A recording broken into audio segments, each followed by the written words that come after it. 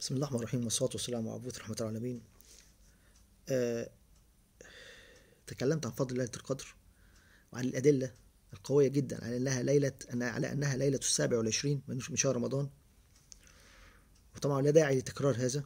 اللي يحب يرجع للأدلة يفتح يكتب في يكتب في جوجل ال- آه، العظيم ليلة القدر والأدلة الدامغة على أنها ليلة السابع والعشرين هيطلع لك الفيديو عشان ال- الكلام اللي هقوله كتير.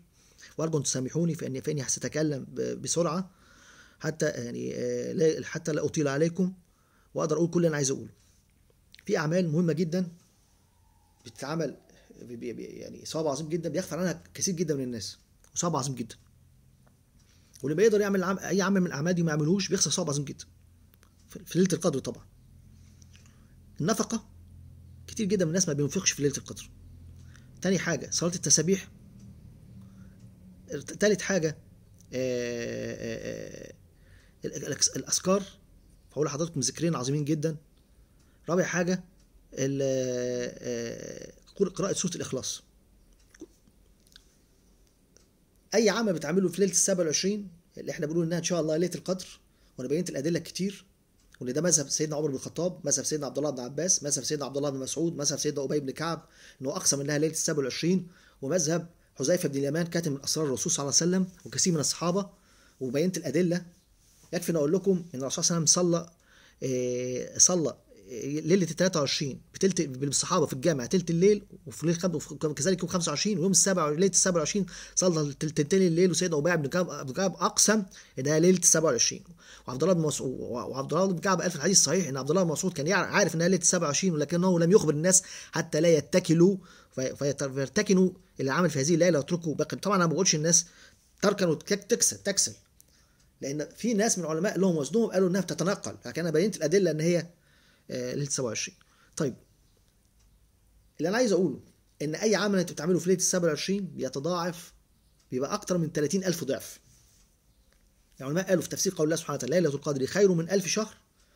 يعني أي عمل صالح بتعمله في ليل في ليلة ال 27 إن شاء الله هيبقى أفضل هيبقى في الميزان أفضل من من نفس العمل ده لو أنت عملته 30 ألف مرة في 30 ألف ليلة ما- ما- ال 30 ألف ليلة دول ما فيهمش ليلة القدر. ما فيهمش ليلة القدر. ليه؟ بالأدلة. أول حاجة في واحد من بني إسرائيل عبد ربنا 500 سنة في صومعة وما عملش ذنب ولا ذنب. فأشفق الصحابة عندما قص عليهم الرسول صلى الله عليه وسلم هذه القصة فنزلت هذه السوره ليلة القدر أنتوا هتسبقوا الراجل ده بليلة القدر. واحد تاني حمل السلاح من بني من بني إسرائيل 500 سنة بيجاهد في سبيل الله فنزلت هذه القصة وبعض العلماء قالوا أربع أنبياء أيوب وزكريا ويوشع بن نون وكالب ابن. ابن ابن ابن يوقنا اللي هو بيسموه ابن العجوز ودول أربع أنبياء كل واحد منهم عبد ربنا أكثر من 83 سنة لم يذنب ذنبا فأشفق الصحابة. فنزل جبريل بقى افضل من من ذلك ليلة القدر لذلك العلماء قالوا جمهور المفسرين إن أي عمل صالح بتعمله في الليلة دي بيتضرب بيبقى في أكتر من 30 ألف عمل في أي عمل تاني. إيه طيب. ناخد أول عمل النفقه كتير من الناس بيبقى قادر على الإنفاق وبينفق أثناء الشهر وبينفق آخر الشهر اللي بيطلع زكاة الفطر لكن ما يجيش ينفق في ليلة ال 27 طب ليه؟ جنيه تنفقه في ليلة ال 27 أحسن من 30000 جنيه تنفقه في في. في في شهر صفر أو شهر ربيع الأول شهر ربيع الثاني يبقى أنت لو طلعت 100 جنيه 100 جنيه 100 جنيه في ليلة 27 كأنك تصدقت ب 3 مليون جنيه في شهر صفر. بلا مبالغة. اضرب 3 مليون جنيه ده أكتر من 3 مليون جنيه. ربنا قال خير من 1000 شهر. والخيريه وربنا ما قالش خير بقد إيه كمان. لكن إحنا هنقول بأقل تقدير. بأقل تقدير 3 مليون جنيه. مش هنقول خمسة ولا ستة. يبقى طلعت 200 كأنك كأنك تصدقت باكثر من 6 مليون جنيه. طلعت 1000 جنيه كأنك تصدقت ب 30 مليون جنيه. اضرب اضرب في 30000 على طول. طبعا انسان مفيش إنسان عاقل يعرف الثواب ده ويضيعه. لذلك أنا يعني سنة لنفسي في كل ليلة 27 وفي كل يوم ع- وفي كل سنة وفي كل عش وفي يوم 10 آه، آه، آه، ذو الحجة اللي هي اللي هو يوم 9 ذو الحجة اللي هو اللي هو عرفه في نهار ذو الحجة لأن نهار ذو الحجة أفضل من 10000 يوم تاني. بص والعمل الصالح فيه ب 10000 يوم برضه بأنفق في هذا اليوم. فإزاي ما تنفقش؟ ده ده دي ده دي ده العمل الصالح بيغفر عندك أكتر من الناس ولو أنت عملته فتتصل بكل المساكين اللي أنت تعرفهم وهاتهم. لو ما قدرتش تجيبهم على صلاة المغرب الليل بيبدأ من المغرب. إن شاء الله يقول لك على العصر لأن دلوقتي في في مشاكل في حظر. فده في عذر قهر حاول تخليهم يجوا لك في أقرب وقت ممكن من صلاة المغرب. لأن الليل بيبدأ أو ليلة القدر بتبدأ من بعد المغرب الليل إن شاء الله ليلة ال 27 بعد صلاة المغرب. حتى يعني حتى تش حتى تشرق حتى يؤذن الفجر. ده العمل الأول. العمل الثاني عمل عظيم جدا. آه الأذكار.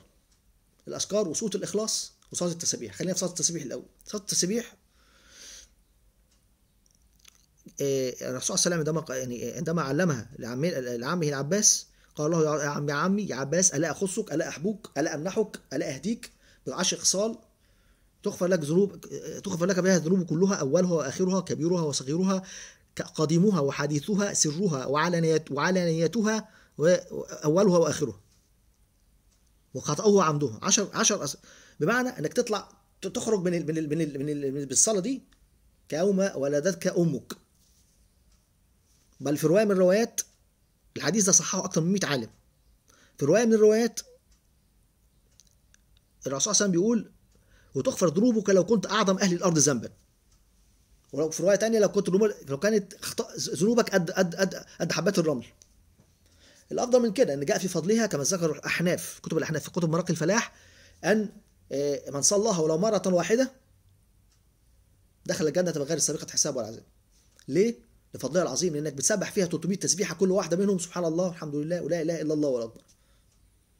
فكانت كان بعض العلماء بينكروها. للأسف اللجنه اللجنة الدائمة للفتوى في الأزهر كانت بتنكرها. دلوقتي طلع بيان بيحسوا عليها للأسف الشديد. وده يوريك إنك ما تثقش في رأي أي عالم إلا بالدليل. يعني كان الناس بتعترض عليا لما بتكلم مع ان صحح صحح الحديث أكتر من 100 عالم. وحجته من الرسول صلى الله عليه وسلم ما صلاهاش أو ما جاش اسف ما صلاهاش خشيه أن تفرض على الأمة. خشيه أدو خشيه أن تفرض على الأمة. و والإمام أحمد لما سمع إن عبد الله بن مبارك من أحد من كبار التابعين اللي هو أستاذه صحح الحديث وبيصليها رجع عن تضعيف الحديث. طيب فلذلك لازم الرسول صلى الله عليه وسلم قال صليها صليها ولو مرة كل في السنة مرة مرة, مرة كل يوم إن لم تستطع مرة كل ش... مرة كل أسبوع إن لم تستطع مرة كل شهر إن لم تستطع مرة كل عام إن لم تستطع مرة واحدة في العمر. آه مرة واحدة في العمر. طبعا السلف الصالح وده يقوي الكلام ده كان كانوا يصلونها في رمضان. السلف الصالح من التابعين وده كانوا بيصلوا كانوا يصلوا الصلاة دي في رمضان. واحسن ليله احسن ليلة ليلة 27 يبقى يبقى اذا هي حري أن تصلي هذه الصلاة في ليلة 27 للثواب العظيم لأن الثواب بيتضاعف 30 أكثر من 30 ألف ضعف. بتصلي بتقول بتقول بتقرأ الفاتحة وتقرأ سورة صغيرة بعدين تقول سبحان الله الحمد لله لا إله إلا الله والله أكبر 15 مرة. بعدين تركع تروح قايلها 10 مرات. بعدين ترفع من الركوع تقول 10 مرات بعدين تسجد تقول 10 مرات ترفع من السجود تقول 10 مرات تسجد السجدة الثانية تقول 10 مرات ترفع من السجدة الثانية ما تقومش تفضل قاعد تقول 10 مرات يبقى كده اجمع هتلاقيهم 75 تسبيحة. في أربع ركعات يعملوا 300 تسبيحة. كل واحدة منهم سبحان الله الحمد لله لا إله إلا الله أكبر يعني 1200 تسبيحة. ثواب عظيم جدا جدا. ده العمل الثاني اللي لازم تعمله إن شاء الله في ليلة ال 27 العمل الثالث اللي تعمله في ليلة ال 27 وبيغفر عنه كثير من الناس الذكر. في ذكر. تقسم الأذكار في ذكر. أفضل من ذكرك الله الليل مع النهار والنهار مع الليل. بمعنى إن أنت لو قلت الذكر ده لو مرة واحدة بتاخد ثواب في ميزان يوم القيامة أفضل ما تقعد 24 ساعة. لو قعدت 24 ساعة لا تنام ولا تاكل ولا تشرب ولا تعمل أي حاجة هتاخد ثواب الذكر هتاخد ثواب هذا هتاخد ثواب الذكر الذكر ده في الميزان هيكون أفضل من إن أنت تذكر ربنا سبحانه وتعالى 24 ساعة متواصلة لا تفطر عن ذكر الله مرة واحدة. طيب ده الكلام ده في الأيام العادية. في الأيام العادية. فما بيكون بقى لما تقول هذا الذكر في ليلة القدر؟ يبقى يبقى كأنك ذكرت ربنا سبحانه وتعالى أكتر من 30 ألف يوم متواصلة ليل نهار لا لا لا كنت بتاكل لا كنت بتشرب لا كنت بتنام ولا كنت بتعمل أي حاجة. الحديث الذكر بيقول إيه؟ عن أبي أمامة الباهلي رضي الله عنه قال دخل علي رسول الله وأنا في المسجد أحرك شفتي فقال لي ما تعمل أبا أمامة؟ قلت أحرك شفتي قلت أذكر الله يا رسول الله. قال أفعلمك ذكرا أفضل من ذكرك الله؟ الليل مع النهار والنهار مع الليل. قلت بلى يا رسول الله. قال ان تقول سبحان الله عدد ما خلق سبحان الله ملء ما خلق. سبحان الله عدد ما في السماء وما في الأرض سبحان الله ملء ما في السماء وما في الأرض. سبحان الله عدد ما أحصى كتابه سبحان الله ملء ما أحصى كتابه. سبحان الله عدد كل شيء سبحان الله ملء كل ملء كل شيء.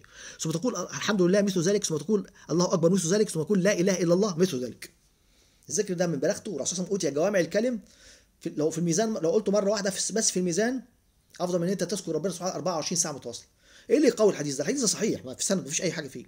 لكن إيه اللي يقوي المعنى ده؟ إن سيدنا معاذ بن جبل كان ورده اليومي 10000 تسبيحة. فالرسول صلى الله عليه وسلم قال له هعلمك ذكر. أفضل لك من 10000 تسبيحة دول في الميزان وكده. الحديث ده والذكر ده في الحديث ده مش صحيح زي اللي أنا بقوله دلوقتي. والذكر ده لا يصل ولا يرقى إلى مستوى هذا الذكر. اللي أنا بقول ده يعني الذكر ده اللي بقول ده أفضل من الذكر اللي علمه سيدنا معاذ. مع ذلك لذلك سيدنا أبو هريرة كان بيسبح كل يوم 12000 تسبيحة وكان بيأكل ويشرب وينام وكل حاجة. فالواحد منا قدرته لو قعد 24 ساعة أنا بقول أنا بسبح 800 تسبيحة في ذكر الأذكار ما بياخدش مثلا 7 8 دقائق مني يعني الإنسان لو قعد يذكر ربنا سبحانه وتعالى 24 ساعة متواصلة مش هيسبح أكتر أقل من 50000 تسبيحة. وجرب. لو أنت عندك القدرة ما تقعد 24 ساعة لا تاكل ولا تشرب ولا تنام وتسكت تسبح وشوف هتصدق 50000 تسبيحه يعني 50000 نخلة في الجنة. يبقى اذا قدرة الواحد يبقى اذا الواحد ممكن لو بأذكار بذكر بذكر 24 ساعة يتغرس له كل يوم 50000 نخلة. اضرب في 30000 يوم يبقى هتغرس هتغرس بالذكر ده في ليلة ال 27 مليار ونص اضرب 50000 في 30000 في 30000 يعني مليار ونص شجرة.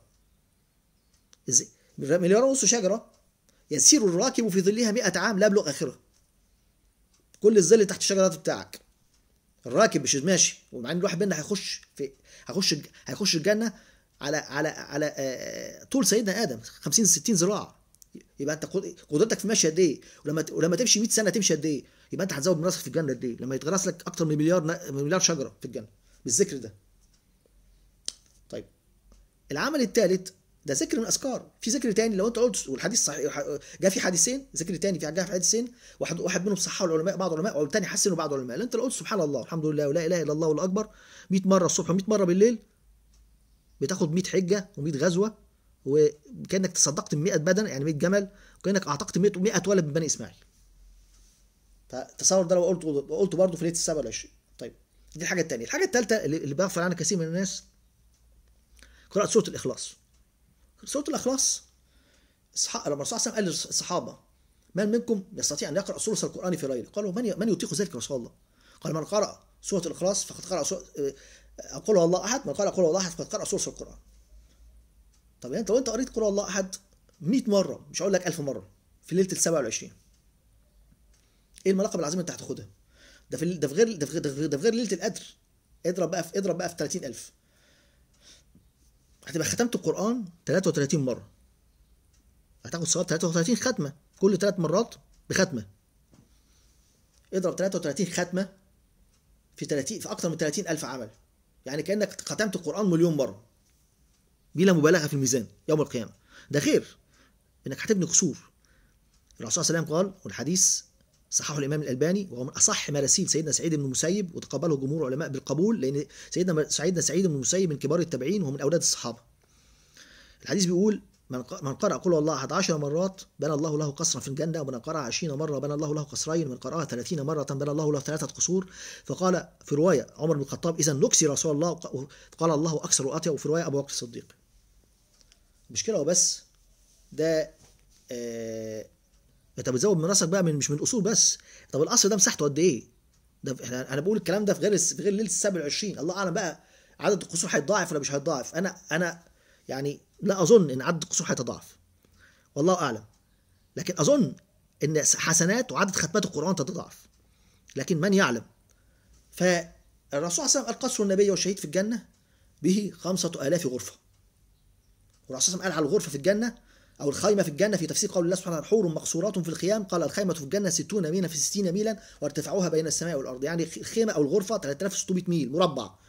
والرسول صلى الله عليه وسلم قال القصر فيه 5000 غرفة قصر النبي. قال عليه الصلاة والسلام قصر النبي والشهيد به 5000 غرفة. اضرب 5000 غرفة في 3600 يعني 21 مليون ميل مربع يعني 30 مليون كيلومتر في 10 قصور. لو انت قريت قول الله احد 10 100 مرة يبقى انت هتبني 10 قصور يعني 300 مليون كيلومتر. يعني زودت من في الجنة حوالي تلت تلت مليار كيلومتر. يعني ما يقرب من نص مليار كيلومتر. ده في غير ده في غير ليلة القدر. طب لو قلنا لو قراها في ليلة القدر يبقى انت هتاخد هتختم كده ختمت القرآن 100000 مليون مرة لأن كل كل ثلاث مرات بختمة. ده في غير رمضان. 100 اضرب بقى في 30 في أفضل من 30000 طب والقصور؟ الله أعلم. ده غير بقى من الحور العين ومن رأسك من الحور العين ومن ودان المخلدين لأن القصر في الجنة سيدنا عمر الخطاب كان يقول أو تدرون ما جنته عدن؟ قصر به عشرة آلاف باب على كل باب 25000 امرأة. كل قصر الغرفة بيبقى فيها واحد أو اثنين أو ثلاثة من الحور العين. يبقى أنت لما بتبني قصر في الجنة بت- بتدخر آلاف من الحور العين. ده في غير ليلة القدر في الأيام العادية خلي بالكم. وإحنا بنقول إن الثواب بنحتسبه على رب العالمين سبحانه وتعالى بيضاعف 30000 ضعف أو أكثر من 30000 ضعف. ده غير كم عظيم جدا من المغفرة ده غير آه، دخول الجنة بغير سابق حساب وعذاب ده الرسول صلى الله عليه وسلم قال من قرأ قل هو الله أحد. كل يوم. الحديث ده ذكره الإمام الطبراني في معجم الأوسط وذكره الإمام السيوطي في الدور المنصور بالتفسير المنصور في الفضاء العظيمه لاكثار من قل الله أحد من قرأ قل الله أحد كل يوم خمسين مرة سمع مناديا من قبره يوم القيامة يقول له قم مادح الله فادخل الجنة. ده في الأيام العادية إنك تقرأها كل يوم 10 مرات بعد. ما بالك بقى لما تقراها ليلة ال 27 ده العمل الثالث اللي ربما بيغفل عنه كثير من الناس. العمل الرابع اللي بيغفر عنه كثير اللي بيغفر عنه كثير من الناس إحنا قلنا صلاة التسابيح سورة الإخلاص الذكر اللي أنا قلته ده النفقة. وخلي بالكم النفقة دي أكتر حاجة بيغفر عنها الناس. الحاجة الثالثه الخامسه دي اللي بيعملها بعض الناس أو أكثر الناس صلاة العشاء والفجر في الجامع. هذا الحديث ذكره الإمام مالك حديث مرسل وهو أيضا من من مراسيل سيدنا سعيد بن المسيب. والإمام فلذلك هو قريب جدا من الصحيح وله شواهد كثير في السنة تقويه من قرأ من صلى من شهد الفجر الفجر في جماعة والعشاء في جماعة. في في ليلة القدر فقد أخذ بحظه من ليلة فقد أخذ بحظه منها. في رواية ثانية من من صلى أو شهد صلاه الفجر والعشاء في من أول رمضان إلى آخره في في في المسجد فقد فقد فقد أخذ بحظه بحظه من ليلة القدر. فقد أخذ بحظه ليه؟ لأن أنت ما هتصلي الفجر في الجامع بقيام ليله بحالها. يبقى في, ليلة القدر هيبقى بتلت احسن من 30000 ليلة. والعشاء بنص ليلة يبقى 15000 ليلة يعني بيقرب من 50000 ليلة في ميزانك يوم القيامة.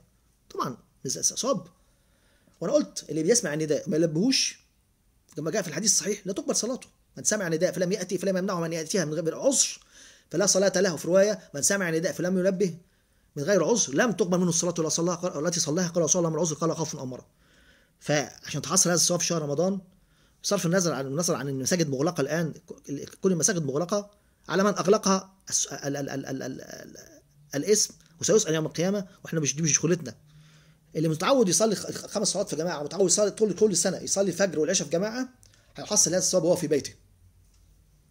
لكن إن استطعت أن تصلي بجماعة إن استطعت فصلي. ما قدرتش هتاخد الثواب لو أنت متعود. لو أنت مش متعود يبقى يبقى يبقى خلاص راح الثواب لأن إحنا ربنا سبحانه وتعالى بيعطي الثواب للي محافظ على الكلام ده قبل سواء قبل ما يكون مريض أو قبل ما يكون مسافر أو قبل ما يحصل عذر قهر يمنعه.